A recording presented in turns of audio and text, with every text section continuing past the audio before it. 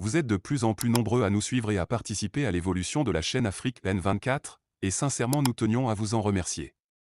Nous lisons tous vos commentaires qui enrichissent le débat et vraiment nous vous demandons de nous soutenir, en aimant les vidéos pour une large diffusion, et pour continuer à avoir une ligne éditoriale indépendante, et vous proposer de nouvelles émissions toujours de plus en plus enrichissantes.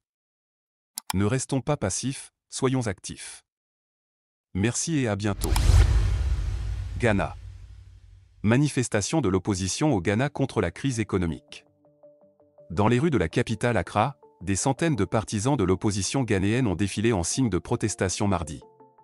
Ils ont exprimé leur mécontentement face à une inflation galopante et un taux de chômage élevé, qu'ils attribuent aux politiques menées par le gouvernement et la Banque centrale.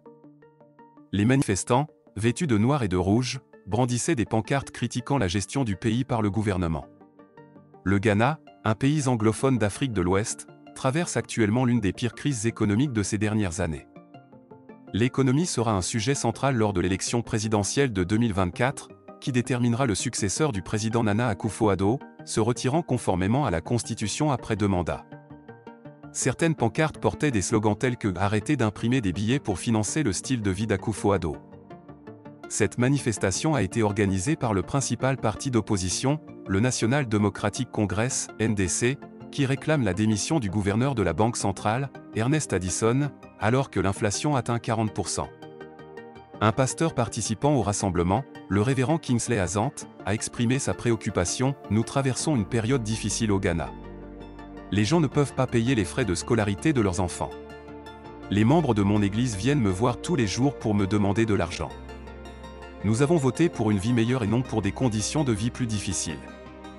Cette crise économique, la plus grave depuis des décennies dans le pays, a forcé le président Nana Akufo-Addo à voir sa position antérieure et à se tourner vers le FMI l'année dernière pour éviter un éventuel défaut de paiement, une crainte exprimée par certains économistes. Un accord de 3 milliards de dollars a été conclu avec cette institution financière. Le Ghana, qui est un important producteur de cacao, d'or et qui détient des réserves de gaz et de pétrole, fait face à une augmentation considérable de sa dette, tout comme d'autres pays d'Afrique subsaharienne. Nous voici à la fin de ce Flash Info, et nous espérons sincèrement qu'il vous a plu. Nous sommes impatients de connaître vos impressions, alors n'hésitez pas à nous les envoyer dans les commentaires ci-dessous si vous avez trouvé ce Flash Info instructif. Par ailleurs, nous avons remarqué que plusieurs de nos spectateurs ne sont pas encore abonnés à notre chaîne. Votre soutien est essentiel pour nous permettre de continuer à produire du contenu intéressant pour l'Afrique des libertés. Pour nous encourager, n'hésitez pas à cliquer sur le bouton j'aime. Montrez votre soutien en aimant et en partageant cette vidéo pour aider l'algorithme YouTube. Assurez-vous également de vous abonner et d'activer la cloche de notification pour rester informé de nos dernières flash infos. Toujours dans le souci de promouvoir l'évolution positive en Afrique, nous vous remercions de nous suivre. À bientôt.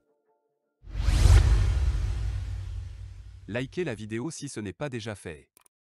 Laissez aussi votre point de vue en commentaire.